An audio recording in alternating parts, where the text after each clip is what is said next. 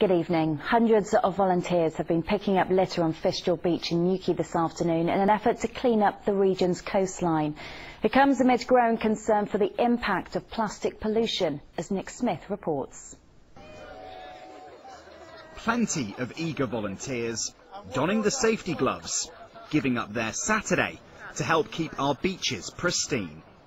This clean-up operation on Fistral Beach was part of a nationwide campaign by Surfers Against Sewage. We've got over 500 beach cleans happening around the country, some 40,000 volunteers who will be taking action to clean up our beaches, pick up plastic pollution and dispose of it properly for the benefit not just of surfers but for the whole community. Many pro surfers also got involved, hoping to spread the message about cleaner seas. As people have started to become more aware of um, the harm that we're actually doing to the planet ourselves.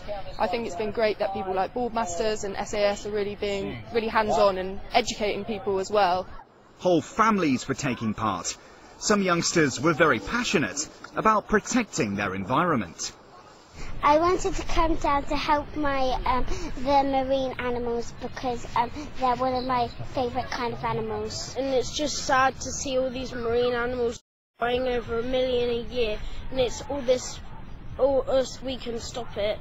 The charity had paired up with Boardmasters, who host the festival at Fistral and nearby Watergate Bay, hoping events like this will remind visitors to leave nothing behind.